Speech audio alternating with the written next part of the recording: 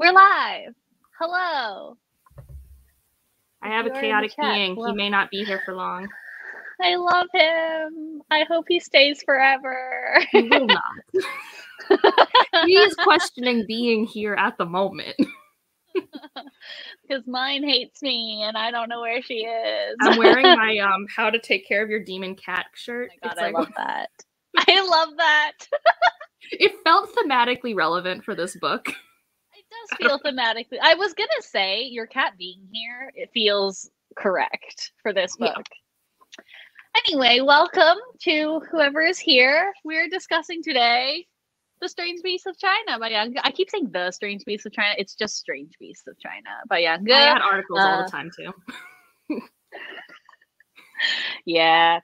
Um, this is our inaugural in, in, inaugural inaugural Sounds as- about as close as I some, something get. like something like that. I don't know what's wrong with my webcam, by the way. It keeps doing this overexposed situation. I don't It's because of the book cover. I think once you put it down, it'll go away. Oh.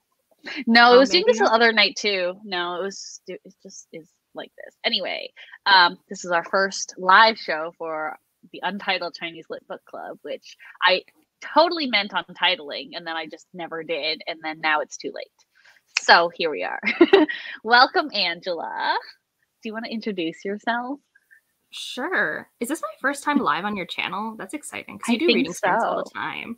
I'm Angela. Mhm. I'm always lurking in Tammy's reading sprints in the chat. My channel's Literature Science Alliance, and I read a bunch of stuff, primarily adult speculative works. So when Tammy was like, "Hey, do you want to join?" and then happened to pick a speculative, and that is the definition. Genre placing this book is so hard. Uh, I Mhm. was very Well, excited. I was thinking of like because I I knew I wanted this to be my first like revamped book club pick, and I was like, who would I who would I think like actually would like this? And I was like, I feel like this is Angela's wheelhouse. yes, yes, and truly, truly, it was like, like if people were like, "Oh no, this was boring," I'm like, "Oh, okay, sure." but no, I mean, and I also do read a lot of literary works too, and like this definitely like it weaves mm. between all. For of the sure. things that I read. So, I agree. and I, I have cats, and that's about it. That's all Yeah. you need to know about me. Read the book back in April. Wanted to discuss. Yes, welcome. This is going to be a very casual discussion. I guess let's start with general thoughts, ratings. I don't What know what my rating it? is yet, Tammy. Stress. What's the range? What's the range? Well, okay. I, I think I also need to talk about the fact that my ratings are a star higher than Tammy's. Like, if Tammy gives something a three and a half, that's, That's probably my like four, four and a half. Like, Yeah, that's true. I have noticed that. I'm like, I, I do notice that where I'm like, if, if Angela gives something a four, I'm like, that's probably gonna be like a three star read for me, but like a Yeah. solid three star, you know? yeah, we have different definitions. Um, it's Yes. I think it's a four and a half, and whether it Mhm. sits there or goes down to a four or up to a five depends a lot on I think the longevity of it in my brain, which I can't tell yet because I just finished it like Yeah. five days ago. But Yeah, my I instinct agree. is that it's it enters at four and a half, and it can stay there or go up and down because I do use half stars. Like I'm not anti half stars. So. How about you? Hold on a 3.5. Very I told you. Our, ra- our. I actually I don't know yet. Like I just I feel like this is so different because I was trying to compare it to so I, I constantly compare this to the cabinet by Unsu Kim, which I also think you should read. I kind of want to, and I've been looking at it for my local Mhm. book club, so I think I might nominate it for Oh, January. Yeah, I think Like it's crossed my mind it. a couple times at the bookstore when I see it on the Uh, tables. I love that cover. Just like as an off topic, I love that cover. But I was looking at um the cabinet in Kim. I was looking at what I rated that, and I rated that I think three stars or three point two five stars. So I feel like three point five is correct for this one here. That's how Nice. that's how I feel. Oh, I Um, see. I love this book. Felt like a mini series TV show that had that type of arc, and like Mm. I was all there for that. See, yeah, I also liked I really liked the overarching narrative of this book, which is why I feel like I like it better than the cabinet because I feel like the overarching narrative of the cabinet is like what the fuck is going on? Whereas this one I felt like everything made sense by the end and I was like I see why everything tied together. Um, even though there were like a, some stories that stood out more to me than others. When like its Also- episodic nature also felt really cozy to me. Like I could be mm-hmm. grounded in this individual, and I'm like, oh, and we're going to the bar to be with Charlie, and uh, then it did this whole like anime thing to me where af- after like episode three something dramatic happens and like the tone changes. Which has happened to me like- in many an anime. it's villain of the week until until that one moment. And I think in this book it was like which story would you say was that moment? Because I oh I it was the what- um sacrificial let me look beast at- for me was when i was like oh we- we're darker sh- than i thought Oh, interesting. Because I think it was like Flourishing Beast for me was where I was like, oh, we're getting major drama. Okay, I see. I mean, when we get into spoilers, I'll tell you why, because I don't Yeah, want to spoil okay. the thing that uh, for me made me feel like, oh, there are like stakes, and this is not just like a, a- dark noir in the fall with this depressed character. I don't know.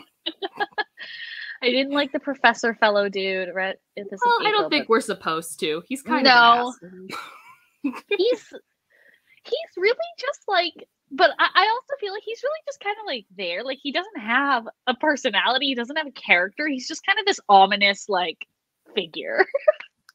I I mean, and I also and like part of this felt just like it was just so weird how we'd go through them having this sort of camaraderie on the telephone or whatever to him like Hmm. calling her an idiot. it's just like the That the quick back I- and forth were a lot.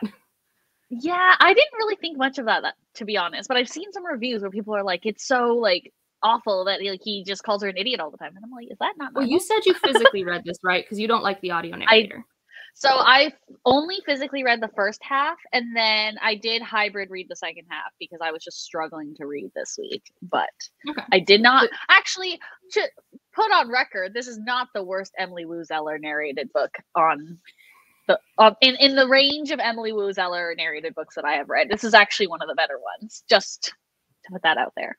I mean, I like the narrator, and I do think early on when you have more of the conversation between the professor and her, like what she does with the voice acting of the professor brings a lot more of emotional dynamics to it that I don't know if I would have seen in the text. Like it goes from like calm to actual like yelling. like that is my main problem with Emily Woo Zeller as a narrator, and that's why I don't like her. And that's actually why I found the second half of this book to be okay because a lot of it was just narration. And I think her na- like her narration is okay. It's just when she puts on voices that I'm like hard pass. So that's interesting that you say that that like puts character into this character that I felt was like very very bland. well, I mean, I guess I say I don't know what would have happened if I only read it with my eyes versus That's fair. like you know like on the page i don't think Mm. maybe it didn't say they were yelling or whatever i don't know yeah, what my internal narrator would have done Mhm. guess. that's fair. That's fair. But no. But yeah. Um, do we have any other non-spoilery thoughts before we dive in? Because I really just want to. I, I, I, I it's your show i'm just here I mean, no, it's all it's it's very chill. It's we're just having a discussion. Um, i mean not spoiler things like, i feel like we've already talked about it's episodic and like has that Mhm. arc and like i don't know i mean yeah, i guess it has that classic sci-fi fantasy trope of who's the monster but i think done in kind of a yeah. different way but like it's that's such a classic like I love that theme. Yeah I always call it the "What Makes a Monster, What Makes a Man" because I don't know. Are, you're a musical geek. Have you listened to the Hunchback of Notre Dame soundtrack? Okay, so that that movie scared me as a kid. So and then as an adult, I watched it. I'm like, how is this for kids? And That's fair. That's fair. But in the opening number, there's a line in the song that says "What makes a monster and what makes a man." So every time I read a book that has this theme in my head, I just sing that song. and anyway, when I read this book, the first chapter, I was like, "That that is going to be the theme in this book," and I love that theme where you're like, you have these monsters contrasted with man, and then but like really where's the line drawn, right? And I love, I love that. well, and then the, the theme of who is taming who that comes up a lot. Mhm. And as a cat owner, we all know how that works. We are we are not the owners. Let's be real. I have been no, but it's always a compelling question of what makes something human and worth human dignity, which it just comes up all the time Exactly. in sci-fi and fantasy and Mhm. literary. Mainly because I think we can't accept that we truly don't treat all humans as human, and so we have to Mhm. rationalize it by looking at it from this distant lens. And Mhm. this book definitely looks, I think, at social issues that, like, okay, we just literally added like points to their ears, but this is just human refugees. Yeah. exactly exactly um one thing i did want to mention that i have seen in a lot of uh reviews especially comparative reviews to the original chinese text which i thought was really interesting is that i didn't really get the set like you you get the sense that at the beginning and the, at the end of each chapter um you get snippets of like the actual like bestiary documents but apparently in the original text those are written in classical chinese versus the the rest of the text is written in like Sichuan dialect, which is Yan Ge's like signature, like because she's from Sichuan. So I thought that was really interesting, though, that in the English text you don't really get a. Su- I, I mean, I didn't anyway. You get a super like classical feel from the kind No. of bestiary bits. I mean, I guess I did. Okay, so I think the difference, especially, and it was jarring first getting into it, it felt Mhm. more dry and expository. Kind of like if I was reading a textbook, I don't know if that Yes. counts as classical. And then it did switch to a more informal storyteller tone. Mhm. So that's, I think, how they translated that to what Western readers would interpret it. Because I do think even when you read like a textbook, like I don't think classical is how I would think of most No. textbooks being it was just very dry, like Yeah. very. It's, it was more like scientific in Yeah. its delivery. But I, de- I definitely thought it was interesting though that it kind of lost that element of it because I think it's very interesting to have it, had it written in like classical Chinese, which is basically a dead language at this point. Like, so that that was interesting. Anyway, that was just like a little translation note. Well, I mean, I, wanted also thought like the narrative framing of the work was interesting because like you're trying to figure out because she is the the main character is an author for both a news columnist Mhm. and books, and you're kind of always Mhm. wondering, am I in the book right now? Like, is this the the book that's being Mhm. released? So Yeah, yeah, I do really like that. And I think also this book originally was published as a serial. So I think which it makes makes complete sense. complete sense. Yeah. Yeah. When I read that like in an article, I was like, yes, this this this tracks. I mean, that's why, like, until I got to the end, like the last four chapters, I read in like a day. But every other chapter, I read one a day because that's all I wanted to do, and I was just having fun doing that. I was just like, oh, this is Mhm. my chapter of this a day. Let's see what monster we're gonna see and what trouble we get into. And it was yeah, I think yeah, you're right. Until you get to kind of probably like the second half of the book where the overarching narrative comes in, you're just like, this is this is a fun time. Eh, you know, we we have a little bit of depression. You know, some some murders happening. It's okay. It's okay. you get to figure out which characters are more important than others. You learn more about Yeah. their backstory. You know, exactly. I love the theme of who is the monster. Plus, I just love the characteristics of these beasts and how it made you introspect about humanity. I agree. I think how each beast represents like a different aspect of humanity. I think is really interesting. Yeah. Um, Yeah, I wonder the process the author went through to decide all the beast names. Because I have to assume that's part of the drawing board process before this is written down. Is like, what are all the beasts? yeah. Um, it's so smart. It's just something I hadn't really read before. I appreciate it. I also appreciated it. Shall we jump Yeah, into spoilers? talking about, Oh, um. A different. go ahead. What was it called? The cabinet. You said you were the it cabinet. So Mhm. mine, mine was a Polish translated fantasy. I kept comparing it to The Last Wish by Andrzej Sapkowski. Uh, is that the short story collection one? Yeah, and so that Okay. one's the first two short story collections are also very episodic. Mhm. He meets a monster, and we figure out, oh, that's not actually a monster. Mhm. It's kind of twists of Eastern European and grim fairy tales. Oh, And then there is an overarching theme where you're trying to figure out who has Geralt run into, who's important to him, Mhm. kind of some found family stuff. Um, it's not like this; it's more you know noir, contemporary Mhm. grounded. But I really liked that. And I mean, and that's why I'm so mad that the novels don't lean into that. The novels they still look at the monstrosities of humanity and all that, but it's not as good as the short stories, which were so cool. That's interesting. I've never read them because in my head I've always been like, I'm gonna play the video game. I mean, That's not gonna happen. I think the video No, game has some of them, but I think it takes place in an alternate future of the Witcher series. Oh, interesting. Interesting. I think. Don't don't quote me because I haven't played it. I want to buy it and not play it on my PS5 because that's who I am as a gamer. Story of my life. Story of my So- life. So that was my like episodic monster book that I kept Mm. comparing this to. Yeah, I yeah, I thought it was really well crafted. I feel. I feel like also sometimes serial works don't translate into novels. Like once you bind them up, they don't really work as well. But I felt like this one worked really well because I felt like the main character, even though they're unnamed, they're still like a very strong. Like you get a good sense of who they are. Are they unnamed? I thought. I think we get the name at the end.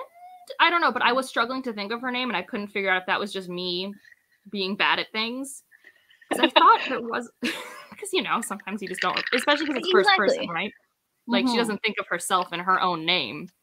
I don't think she has a name. Because I thought like, I thought near the end, I thought it's like, oh, I finally get her name, but then I completely instantly for, forgot it. So I've forgotten everyone's name. I remember Charlie. I can't pronounce the name. I of the other remember. Charlie Jong Jong Zhongliang. I I liked think him. The other guy's name. Yeah, Um, I, I, thought don't it was the name of the funny. professor. Did he have a name? I did find it funny that Zhongliang's uncle was it his uncle, the other like or whatever. His name was Zhongren, which I thought was funny because he was a clockmaker, and Zhong in Chinese is clock. so I just thought that was like a little funny, a funny thing. I don't know if it was intentional or like what the Chinese character for it is, but it sounds a lot like the word clock. So I just thought that was a little funny. oh, nice. Definitely not something I would have noticed. I'm trying to look at the Goodreads to see if there is a Um, name. I don't think they're named.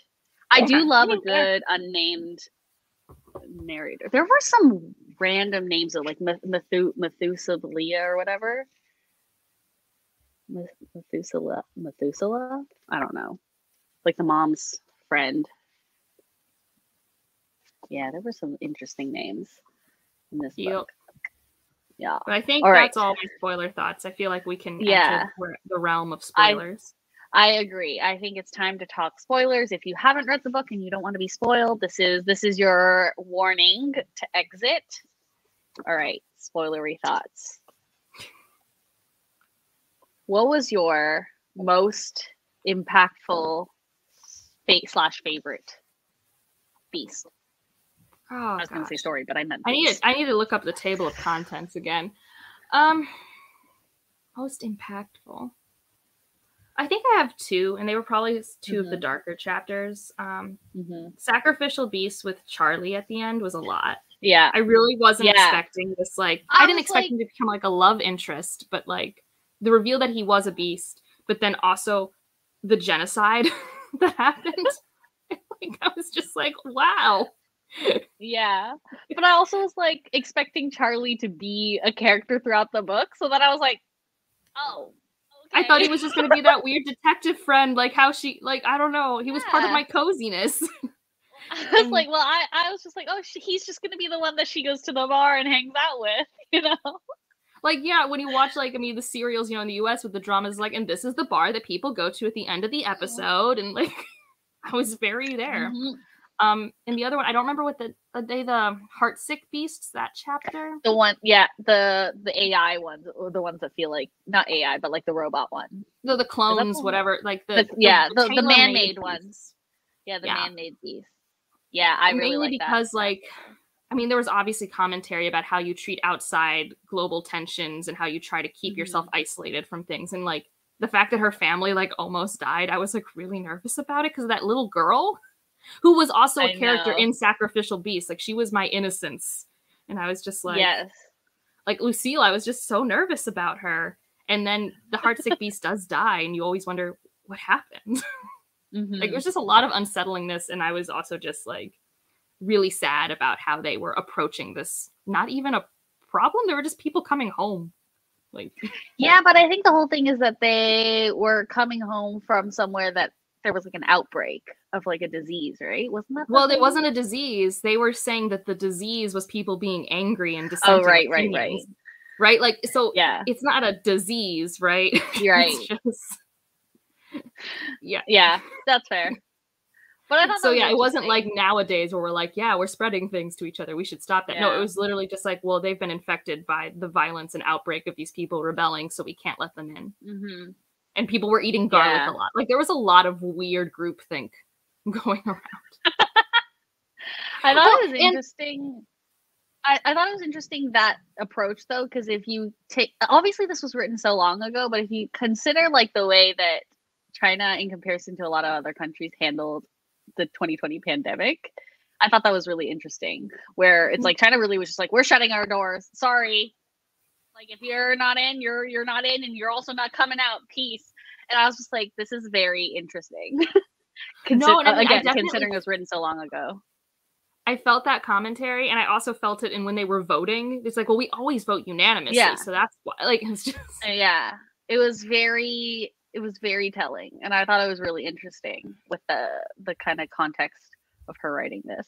So I will say, I think she mentioned, or like the translator mentioned, it's possible that because I actually don't know what the SARS response was like in China at the time because I was too young to remember it. But this was written originally about a year after SARS, so I do wonder Oh. if there's some uh, relation there in terms of like what was fresh in her memory possible. Who knows? I mean, I also felt like even though I definitely thought because I knew this was, you know, a Chinese work, you know, I wonder if it's Mhm. commentary on Chinese politics, but also it's very Mhm. relatable to a lot of close knit politicking, you know, a lot of Mhm. xenophobic. Like there's just that type of Mhm. groupthink is just it's not unique, Hundred percent. right? You know? Hundred percent. Hundred percent. It's like it's it's one it's one of those things where you're like, I hate that this is a universal experience, but it really is. Yeah. like unfortunately, it really is. Um So I think those two were probably like Mhm. those are the fir- two I thought of, but they were all. special. I I really like the first one, to be quite honest. I think that was one of my still one of my favorites, the sorrowful sorrowful beasts. I just thought it was so tragic. The whole like once they start smiling, they die, and I was like, damn. because they're in pain. yeah, like damn. As a highly depressed person, I feel this one. I also did appreciate that sometimes I would get confused about what was real, what was not real, what I should be keeping track Mm. of. But normally by the end of a chapter, I was told point blank what had happened. I did I did like that. I did like that because I was like, I don't know what's going on. And then I would read the little bit at the end. I was like, I know what's going on. I sometimes I want the hand holding, and I was like, thank yeah, you. exactly. And in a lot of ways, it reminds, like, it, it made me think of like Nevo's writing because Nevo is very much like she doesn't hold your hand.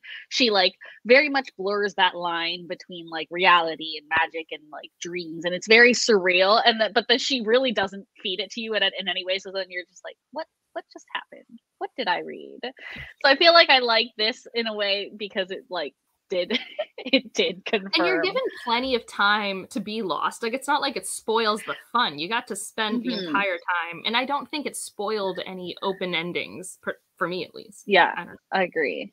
I agree. Yeah. And then I, I think my other standout was also Heartsick Beast. But I think that one more because I really liked uh I don't know, did you ever watch the TV show Humans? I think it was No. a BBC TV show. It really reminded me a lot of that, where in Humans it's about these like super kind of like advanced robots that look exactly like human beings and like similarly to like Heartsick Beast where you can like shop around and like find the perfect companion for yourself. That's what they do in humans and I thought that was like a really I really like that show and like kind of questions it posed and I, I really liked kind of the parallels here to that.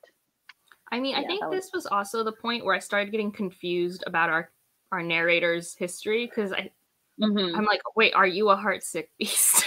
I think she is. I think she I think so, Yeah, that's what And I they think her that's what we her- discovered. and that does is the professor her father? Like, I was getting confused about her family tree, and it, I accepted that I was that was fine. I think I think one of the big reveals that I was like, oh damn, was the the reveal that the professor invented the heartsick beast. I was like, he's the big bad. Okay, we're okay. But I think it's that her. I'm confused now. I don't remember. Did I write a note? Because I tried to like write. Because I know the professor Summaries? loved her mother. Like, I know that was like a big thing. Yeah. But I don't think that she. I think she is basically man-made though, the narrator, because she's a heartsick beast. But made And to I look in the that- likeness of her mother, I guess. Correct, because he the professor loved her mother so much. Yeah. Which is sick. The whole book is just like sad. I don't know how else when, when I was it. watching your vlog and you were saying that, I'm like, oh, you're not wrong, but it didn't make me feel sad because I, um, I- apparently am yeah, a like I wouldn't say I felt like sadness deep inside of me, but it was one of those things where it's like it's it's like when you look at something and you're like, this is incredibly sad. I don't feel anything because I'm a jaded person, but like this is so tragic and I I can't like I don't I don't want to accept that this is like because it's just, it's just sadness. There's no happy vibes. I mean, at the end, Yeah. she gets to have like a person that she's connected with. Because like our, our narrator was so isolated.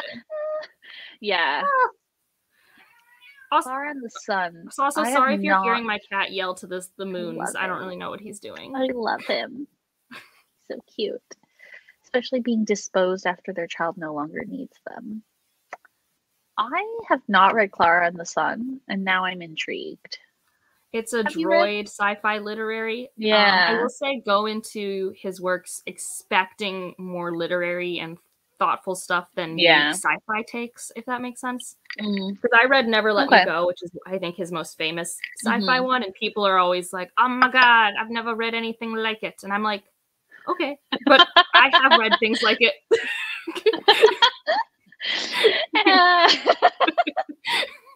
I don't know. That's just what I would say. Like I really I liked it as a yeah. literary book, but the sci-fi part Yeah. was unamusing to me. I was like, I whatever. do I do feel like his audience is not like a sci-fi audience in general though. Like I feel like he very much has a literary and general fiction audience. Yeah. Yeah. So All right. Let's shall we discuss the ending and the revelations at the end of this book? Because I in my head that's what sticks out the most. sure. Okay. What did you think about the ending and this whole reveal that what was the last beast called? The ah. returning beasts. And the, the returning beasts are not actually beasts, they're actually just humans. yeah. it- so returning beasts are humans, and what's his face has then- been a human, right? Zhongliang. Yeah, he was a human. Yeah. And that's why he had to wear that like bone shard of bone or whatever. And I was like, okay. that's cool, I guess. Yeah, I mean, I thought it was it was a fitting reveal. Like I don't think necessarily I felt like shocked. I was like, okay, Mm. yeah, this is definitely where we've been going thematically at least. So yeah. to have it be actual is fun. Mhm. Um, I, what I thought more chilling about the ending was the fact that you know the implication after she wrote this, all the beasts have vanished. Like the, Yeah. the forgetfulness of society, or the putting things under the rug and everything like that. Yeah. That that loss felt really heavy. Yeah, I agree. And I thought it was really interesting at the end of the book.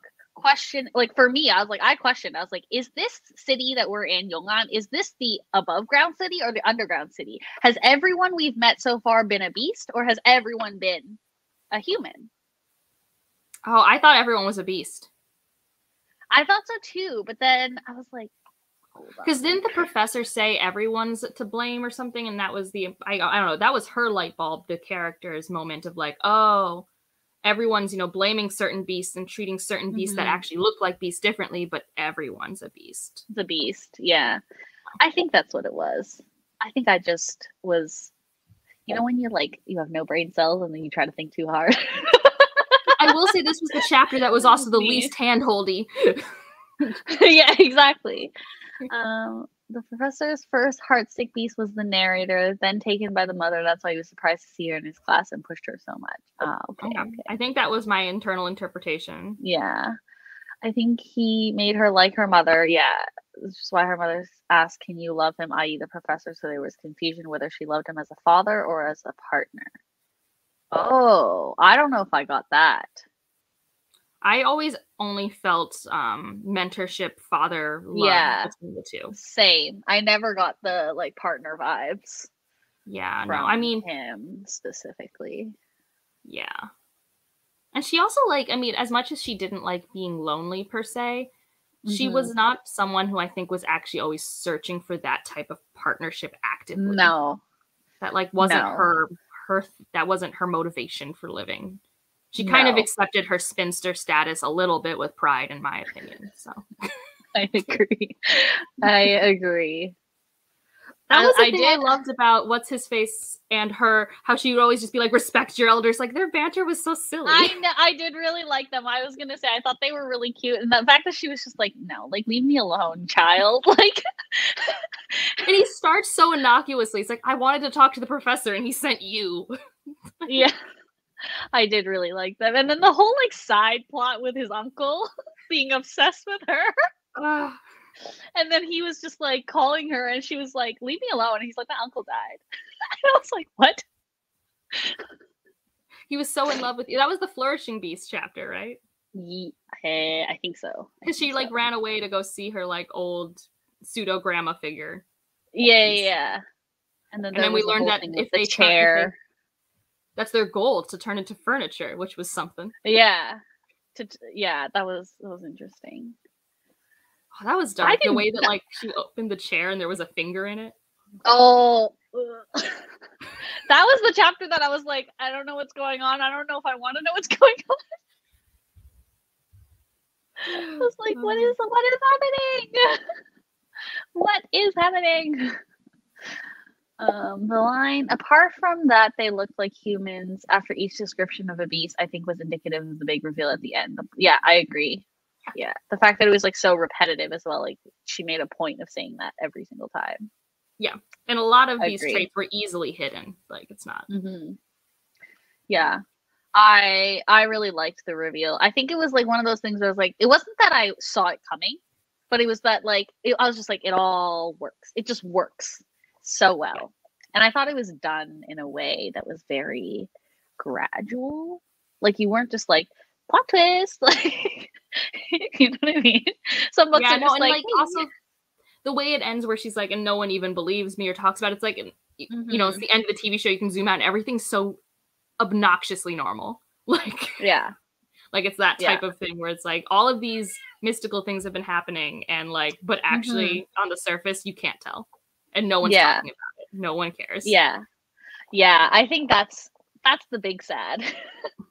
that's really the big sad. And I think that's the the I don't know, like I feel like this book just reflects so much of like our society that it's just like what does this say about our society that this sad sad book is Well and like is a what reflection the, of us. who were the monsters that drive people to suicide? What was their name? Oh, uh hold on. It was, the one that, after Sacrificial was Beasts. that the impasse beasts? Yes, I think so. I? I think that's the one that was after. Yeah. I- Well, is there another one after that chapter before Flourishing Beasts? No, that is impasse beasts. Okay. So like there was a lot of commentary in that chapter, you know, about like the schools for these kids and like what people did Mm. with the like undesirables and stuff like Yeah. And at first, you know, I like was hopeful that, you know, the impasse beasts were really nice and taking care of these children. and then we learned that that no, that they they put in this really Nope. dark compulsion. I'm just like, "Oy." that was a lot. I I thought it was interesting in the first few chapters that they really very early on established a kind of like symbiotic relationship between the humans and the beasts. Which now you're like, are they were they really humans or were they just all beasts at the same time? But like, but I thought that was interesting, like showing kind of like the symbiotic relationships between different groups of people and how like the there's just like this it's just like a cycle it's like a cycle of oppression because everyone like is so i don't know like resistant to change on both sides that like i don't know it's just like it was just like a really interesting thought for me No, to for see sure. that relationship Yeah, it's kind it of like, like- this was looking at like the ecosystem of humanity, but like when you look Mhm. at ecosystems, you need things to have niches and you need to give them names, and so we're taking certain Mhm. human archetypes and we're making them beasts. mm-hmm. You know, like there are humans that thrive on despair and depression. They are those type of Mhm. Creatures that we have in our own societies who prey on those. Like, exactly yeah this was definitely a big brain book impasse beast yeah they live on human despair yeah no, and Yeah, it was. I were- think it was a good combination of like big brain. You can really take the red line and compare it to our society, do all of that, but Mhm. also it was still magical and mystical on the surface. You know, Mhm. I could still just like be in this new weird world and like wander the streets Mm-hmm. and just see it. Yeah. I. I definitely feel like I want to reread it though, because I kind of feel like I'm like, I do feel like there will be more to gain from it on reread. Yeah. Because I think the first time around, I was just too caught up in the like, oh, what's going on? What is this like villain of the week situation? Yeah. Are, th- are there any monsters we haven't talked about yet? I think there were some. There was one that was like a love Um, story when she was like in the car accident and he had to transcribe for her, which I thought was a silly time. um, we have not talked about Joyous Beasts, which is the second chapter. I'm trying to remember what they did. Yeah, me too. Let me look at my note. Oh, my note says this one confused me. stuff, good stuff. Oh, these were the little Um, ones, and they like eat. They, like this one was an old lady who fell in love with the person, and they like eat them with their hand, and then they become a big bird in the sky. It was real Is weird. this- is this the one where the males don't speak? No. No, no, that was sacrificial. no, no, no, no, no, no, no. Yeah, yeah, yeah. Okay. No, this was the one Yeah, where the no. mayor died. The mayor died, and there was a big bird, Yeah. and we learned that birds were yeah. illegal. It's the phoenix. It's the phoenix one. Yeah. Oh, that one was weird. That one was weird. I'm telling you, my note just says this one confused me. um, I mean, I think that we was also kind of the point, though. Like the first ones were so Yeah. like these are beasts, and then we slowly, you know, get into the more human bestial parts. yes, exactly. We also haven't talked about Thousand League Beasts, which I genuinely don't think I remember at all. Oh, that was the I one I think think. was- That's where the professor dies. That's that chapter. They predict the future, and if they are half breeds, they Oh, go crazy because they can't forget the future they've predicted. Yes, yes, yes. That was depressing. I think that I don't think that one was super memorable for me. Clearly, I was just like, Well, I was Yeah. depressed mainly because she and the professor almost got to meet one last time, and she Mm. didn't because they have this petulant relationship with each other. yeah, that's true. I think that's what I remember and most. then Prime Beasts, which I think was the chapter. To be honest, I don't really remember the Prime Beast. I think this was the chapter where we learned a lot about the narrator. I feel, and so I don't remember the beast portion of it at all. Well, didn't we learn the Prime Beast? They were security guards. And this was the one where we potentially found her father, but then I thought she was a heart sick Mhm. beast, so I was like confused Yeah, because there was the love. This was the love story between the human and this type of beast, the Prime Beast. yes. And there was something about like, for some reason, the offspring of a Prime Beast will be their demise, and someone was trying to protect this older Prime Beast she had talked to, and I'm telling you, I feel like some of the chapters I read on audio, I just like, I was like, I had a good time with it. It's gone. It's I think that was the chapter that made me start being really confused because at first I was on board. I'm like, okay, heart sick beast. But then Prime Beast happened, and I was like, See, here's the thing. I'm like, sometimes I read things, and if I get too confused or they contradict my current understanding of a book, I just forget about it. well, Because then we like- moved into Returning Beast, and I was like, this makes sense to me. This makes sense to me. We're just gonna skip the, the ones that didn't make sense to me. Well, and also it's interesting because if they're all beasts, I guess it's just that you have to stay within the prime beast thing and not be with other types of beasts. I think the only reason I got confused was because this was a story she was writing to get by because she had an accident and it was a story her mother had told her. So we were wondering, is this her mother's love story? Right. And then was the professor a prime beast? That's our Prime Beast. I do remember having this thought. I, I do remember having this thought. so, uh, yeah, it was confusing. I don't know. It- the whole thing is confusing because it, it's it's is it like every single is every single character you meet is a beast except for the one who is not. I think so. Because I think Mhm. the only the person who had the necklaces are human or returned Mhm. beast or whatever. Mhm. Yeah, I also like the dystopian energy of all the humans live underground. I approve. I agree. I agree. I do. I don't know. I do. I did. I did find it. I do do remember at the end being like, "Is the city that we've been in the whole time? Which city are we in?" I mean, I I mean I I truly did think that it was the city with all the beasts. Um, but I Mhm. could see that ambiguity being intentional.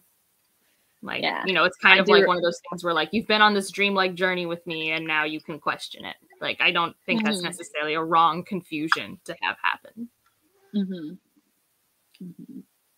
I thought it was interesting. The other kind of interesting thing I thought was um, that in the book, the author in the book is a romance author, which you know you think are like happy vibes, but then this book itself is like so fucking sad, but also contains like a whole bunch of like love stories. Like a lot of the beasts and their stories contain like a love story. They're just not romances. Yeah, no, they're not. They don't got that happily ever after energy. Um, they're they're not they're not about that genre romance life.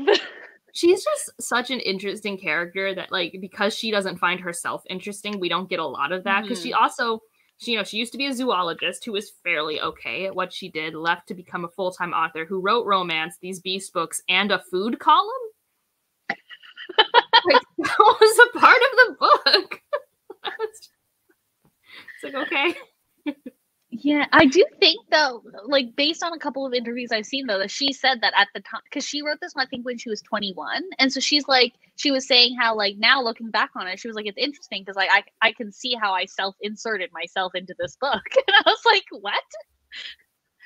I mean, I guess that's interesting.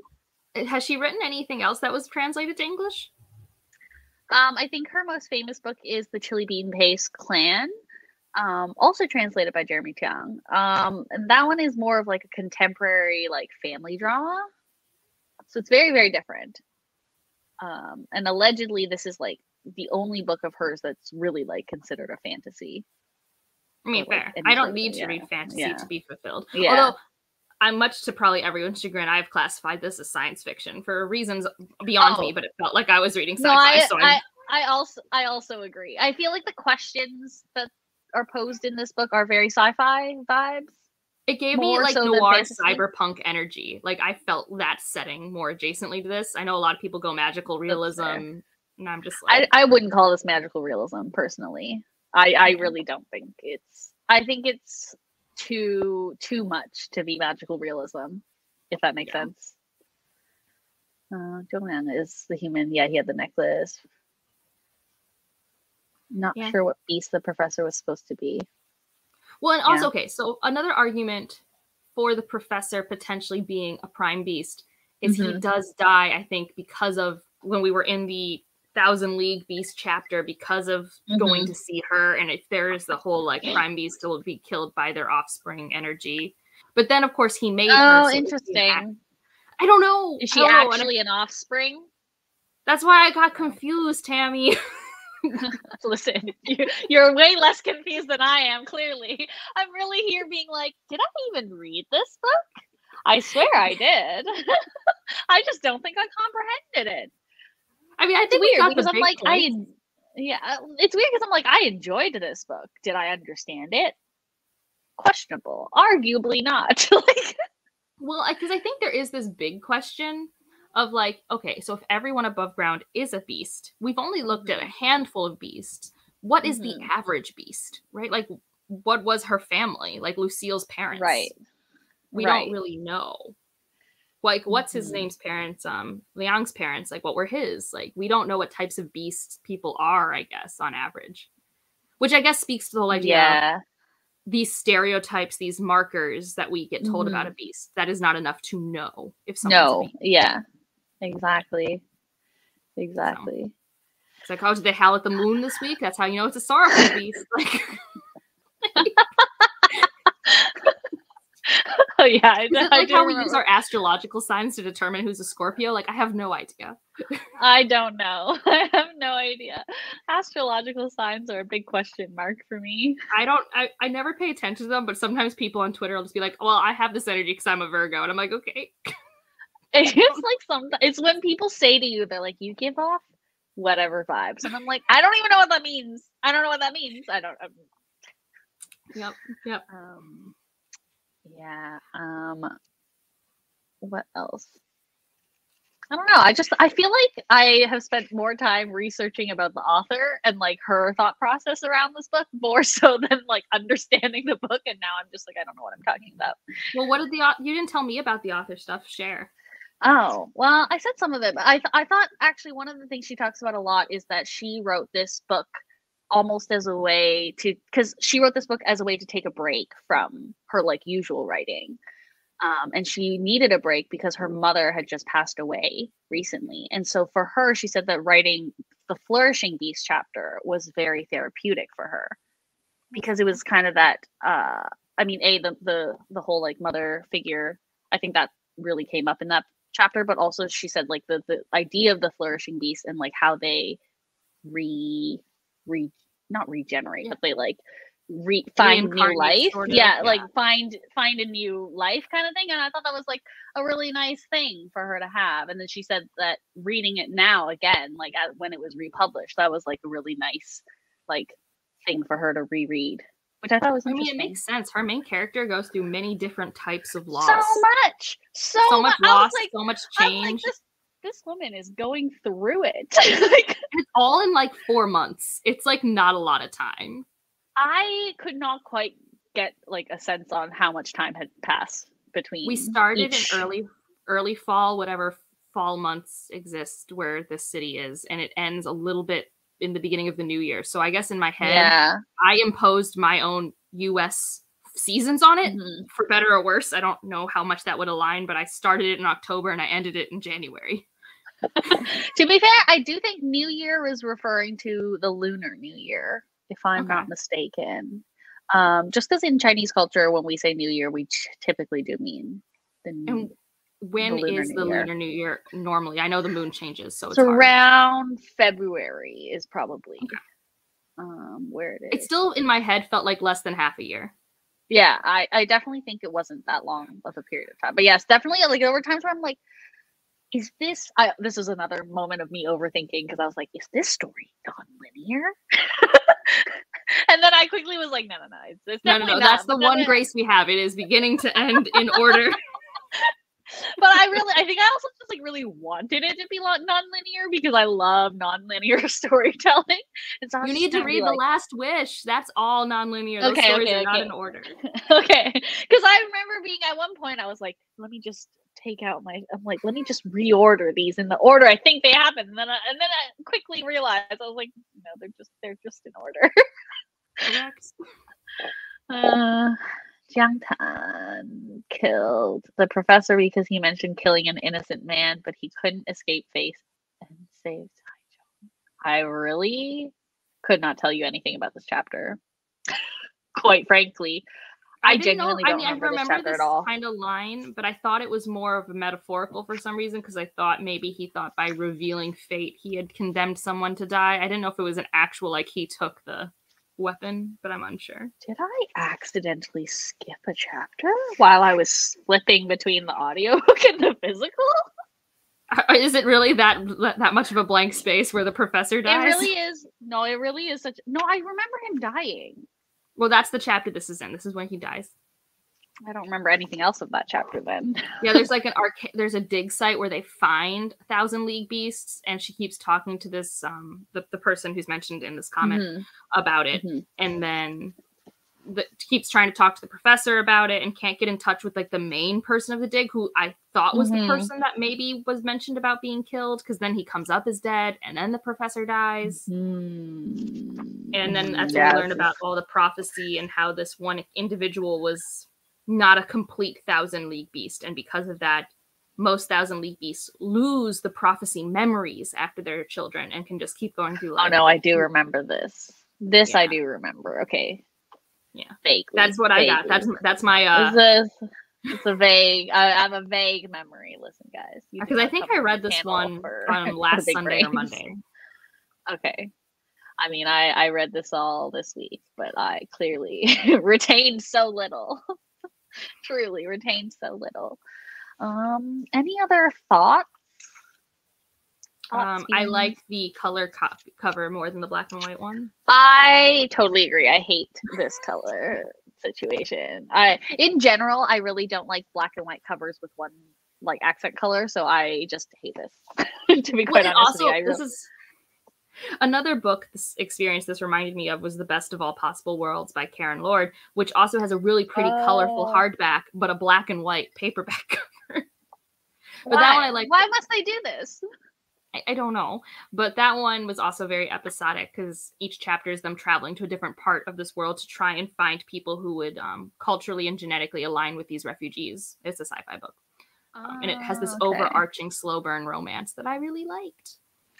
I do want to read some Karen Lord because I watched her interview that she did with Ken Liu, and I was just like, these two brains, I love You it. need to, so you know, I already know. I know both of them because I've met Ken Liu, Mhm. and I know for a fact I bet I can get him on my channel. And then Karen Lord, I know through a friend, and I just need to get them, like Nicky Drayden. Oh. I, I just, I need to have the, I need to fear emails less. I really That's fear fair. emails. That's Uh. I I, feel like Ken Liu is very open to like doing interviews and stuff. I think. Well, yeah. and- Well, and like we have this moment where he was giving a talk at Brookline Booksmith, and I was the audience member who would look at him, and so he, I was his, I was his rock. I knew it. It's like, oh, he needed to look at someone, it's like I didn't, I didn't flinch. I was there. I sat in the front row like such a nerd. Ready? Everyone else sat in the front row. I'm like, what? What is this? I mean, I'm five two, so I can't, I can't be risking people sitting. You're risking it all in the back. Me when I went to see Rebecca Kuang in person, and I got there only half an hour early, and turns out people were there three hours early, and so I was like way at the back, and I was like, I don't see anything. Even when when I put my camera all the way up, like I can't see anything. Yeah, she's a bit more popular than Ken.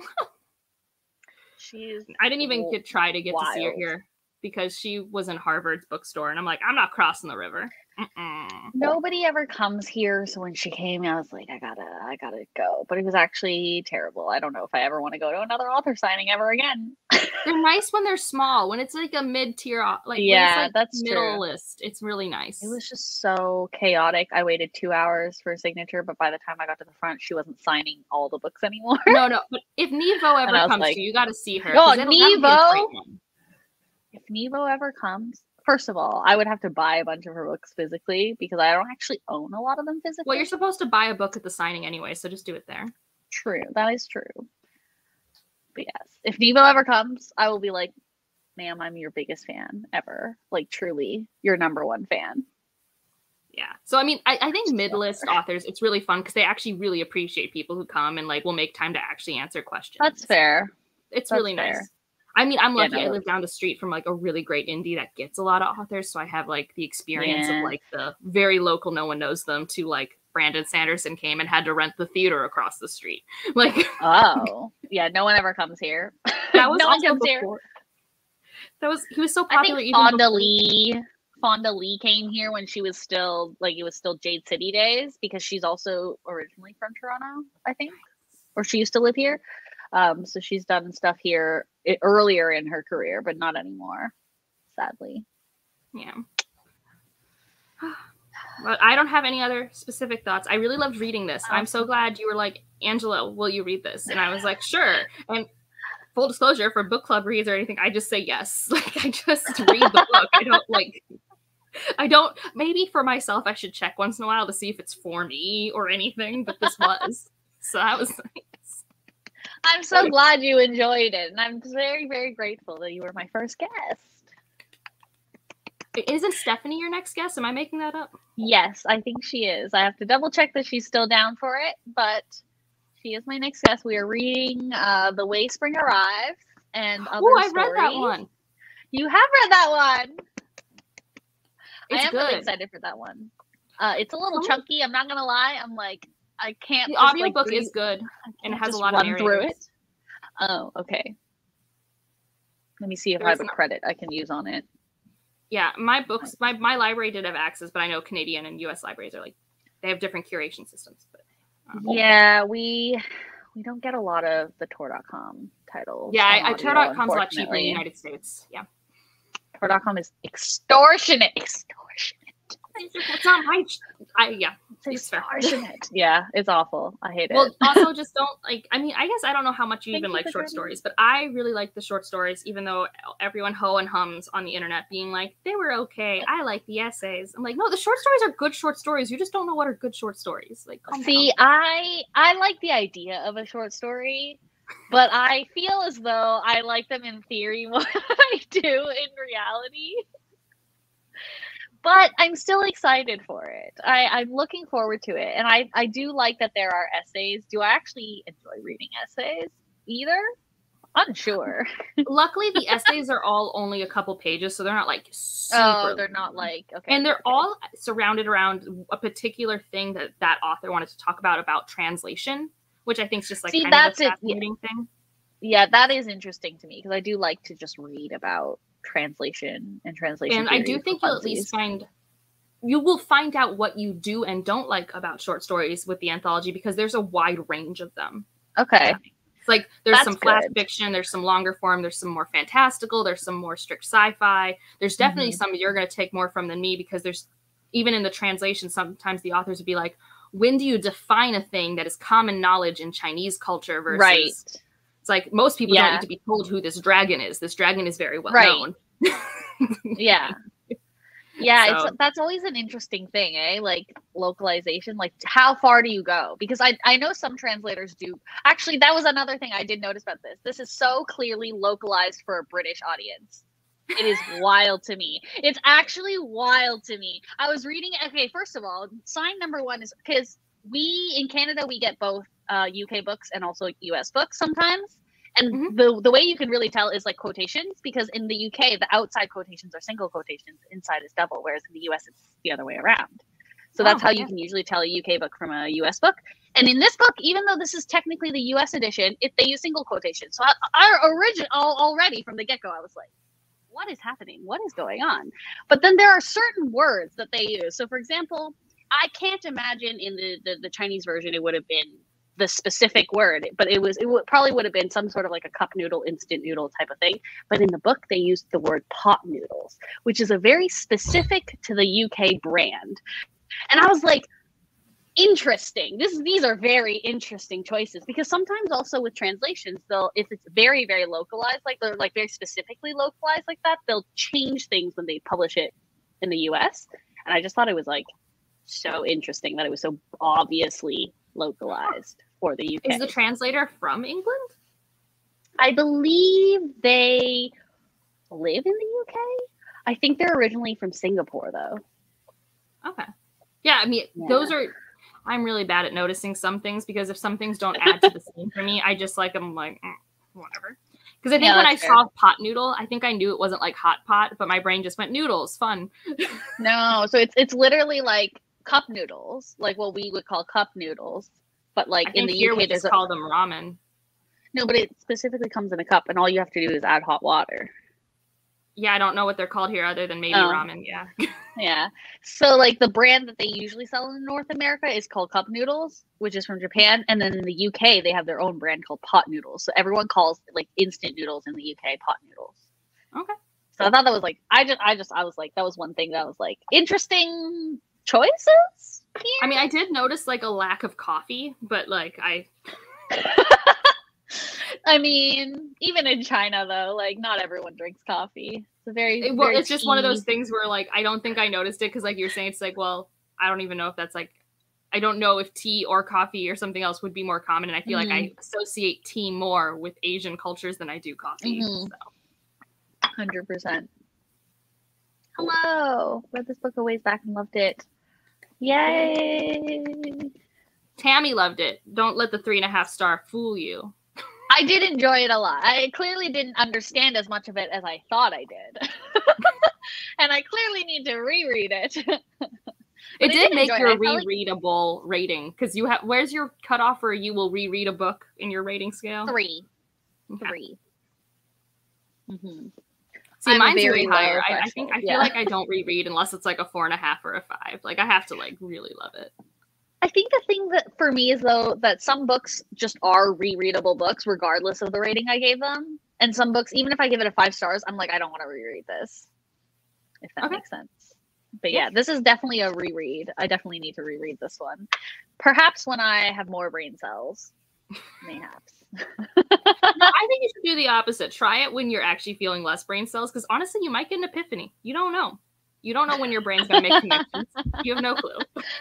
exactly. Exactly. Well, I guess this is it. We'll wrap it up. Angela, any anything you want to plug? Plug? No, no. Join Well, this I book have- club. You already did if you made it this far. well, I'll have I have I if I don't have it already, I have Angela's channel down below. Go follow her. Um, yeah, thank you all for joining. Angela, thank you for joining me. And Thanks for having we'll having see you soon.